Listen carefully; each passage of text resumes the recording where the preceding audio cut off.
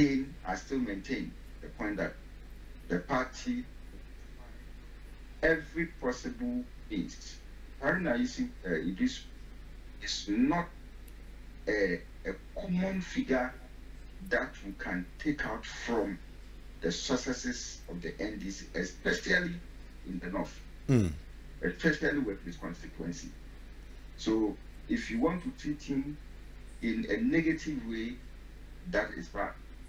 If you have a reservation as to his um, contribution to the party or something, probably you want to have a change. It's about dialogue. It's about negotiation. All right, and give reasons, give him reasons why he should be changed. All right, and let him understand it. After all, if the party says they are changing, cannot say he will still be in that position. Okay, all concerning uh, party will have been in the room. right?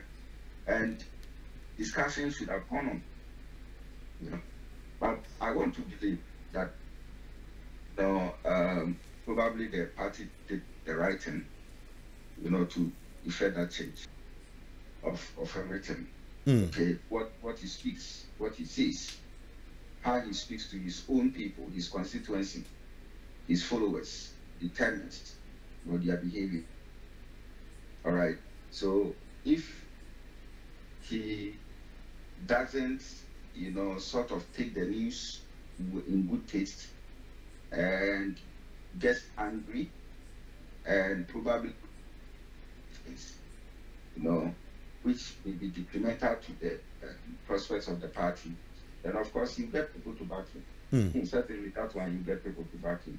And you see, when you look at Honorable Haruna um, network, mm. you know, up north, it is not only in his constituency where he is the MP. Mm.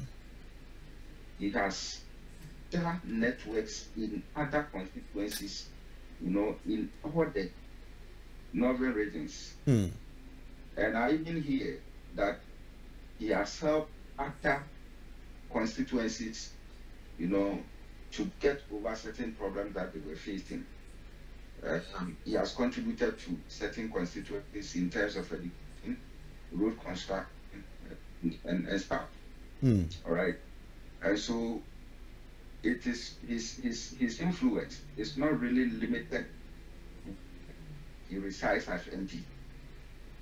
That's why earlier when I said that he is not that kind of ordinary person that you can take any decision against him, you know, any day, any time Mm. without proper consultation.